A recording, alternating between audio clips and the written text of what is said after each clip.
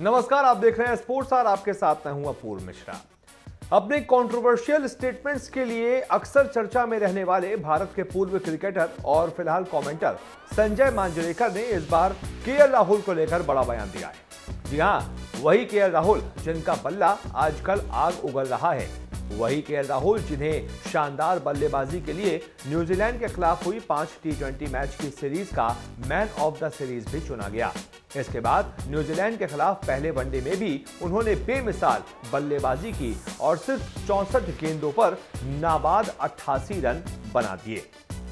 तो संजय मांजरेकर ने के राहुल की उसी 88 रन की नाबाद पारी की तारीफ़ की है। इस पारी में राहुल ने उनचासवें ओवर में जेमी नीशम की गेंद पर स्विच हिट के ज़रिए छक्का लगाया था। इसी शॉट को देखकर मांजरेकर काफ़ी प्रभावित हुए और उन्होंने राहुल को मिस्टर 360 डिग्री बल्लेबाज बताया। उनके मुताबिक, के राहुल ही ऐसे बल्लेबाज हैं जो अलग अलग तरह के शॉट्स खेलने के बाद भी क्लासिकल नज़र आते हैं।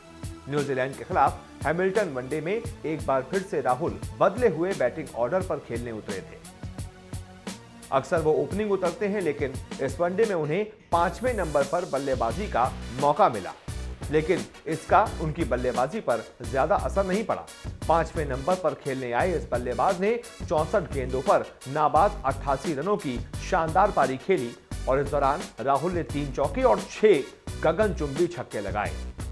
उनका स्ट्राइक रेट एक पाँच शून्य का रहा। उनकी पारी की बदौलत ही भारत निर्धारित 50 ओवरों में चार विकेट के नुकसान पर तीन रन बना पाया। राहुल ने न्यूजीलैंड के खिलाफ टी सीरीज़ में भी शानदार बल्लेबाजी की थी। बतौर सलामी बल्लेबाज उन्होंने पाँच मैच में दो अर्धशतकों की बदौलत 224 रन बनाए थे।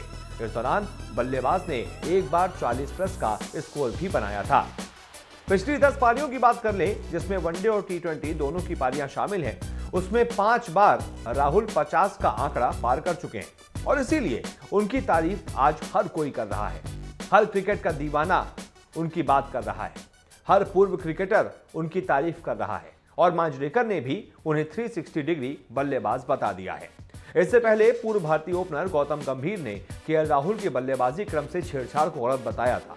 उन्होंने अंग्रेज़ी अखबार के एक कॉलम में यह बात लिखी थी। गंभीर ने कहा था कि मुझे नहीं लगता कि ये अच्छी सोच है कि उन्हें टॉप ऑर्डर से हटाया जाए। इसके बजाय टीम मैनेजमेंट राहुल और मयंक अग्रवाल से पारी की शुरुआत करवा सकती है।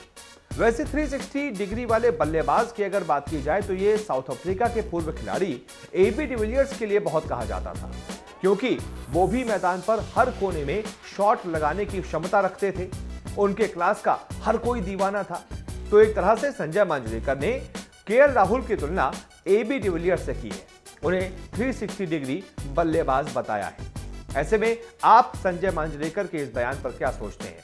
क्या वाकई संजय मांजरेकर के इस बयान से आप सहमत हैं?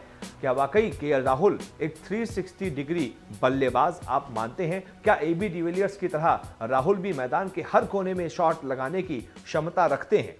आप इस बयान से कितना सहमत हैं? कमेंट करके अपनी राय हमें ज़रूर दें। नमस्कार।